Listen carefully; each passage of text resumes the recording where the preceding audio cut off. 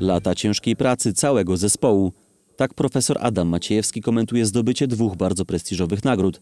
Zwyciężył konkurs Best Case najlepszego przypadku 2019 roku oraz nagrodę Godiny za dotychczasowy dorobek. Ta pierwsza nagroda przyznana została za pierwszy na świecie złożony przeszczep tkankowy w obrębie głowy i szyi połączony z transplantacją szpiku, który przeprowadzony został na sześcioletnim tymku. Myślę, że to, czego jesteście Państwo świadkami, to jakiś y, niewielki wycinek tej codziennej pracy, gdzie i zespół i ja skupiamy się, żeby poprawiać to, co możemy poprawić.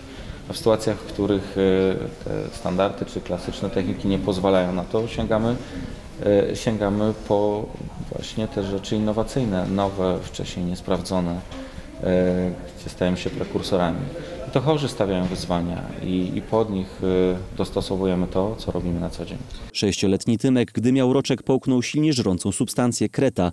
Martwicy uległy gardło, krtań, nasada języka tchawica oraz przełyk.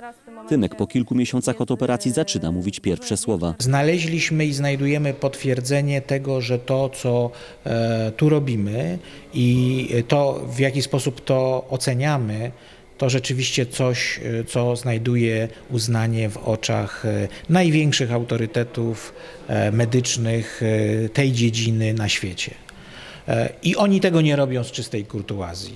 E, Jest wiele krajów na świecie, znacznie od nas bogatszych, gdzie również e, wykonywane są operacje mm, skomplikowane, bardzo trudne, a jednak Polska odnajduje się w tym gronie bardzo dobrze i jest liderem. Zespół profesora Adama Maciejewskiego przeprowadził operację 21 marca w Śląskim Centrum Chorób Serca w Zabrzu.